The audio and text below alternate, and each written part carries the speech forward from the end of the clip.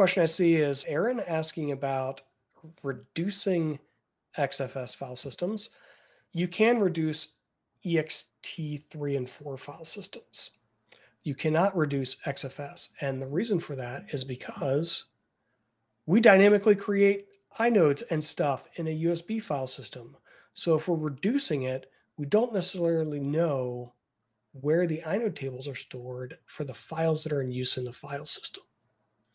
With uh, ext3 and 4, it actually creates blocks of inodes at specific places in the file system format.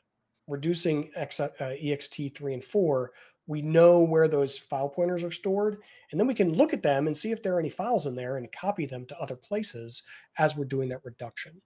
So I'm sure that it's not impossible to do that with XFS, but people have chosen to not write doing that for XFS because it is is challenging based on the nature of expansion for XFS. And the number of times I've had to reduce a file system, I could probably count on one hand. Like that I had a reason where I just absolutely had to reduce it. Most of the time you're expanding them anyway, right? So that probably went into that decision process. There are certainly valid reasons. Oh, I just migrated a bunch of data. Now I want to take some of that space back. Maybe it's a SAN volume or something and you want to give that back to your storage admin so they can allocate it elsewhere. So yes, there's valid reasons, but uh, it's less common in my experience than than growing a file system is. Usually, data just keeps expanding, not contracting. yeah, and Aaron points out that it was on a system where he made choices at install time that he regretted later and then wanted to fix it. Yep, that's another reason. But if you discover that early enough, just rebuild the system. Yeah, that, that's probably the yeah. route to get you where you go.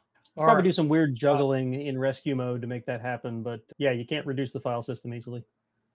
Yeah, I don't think you even want to try to do that. Probably not, but if you're feeling adventurous. Remember what I said, Nate? People get really salty when they put data somewhere and then they can't get it back again.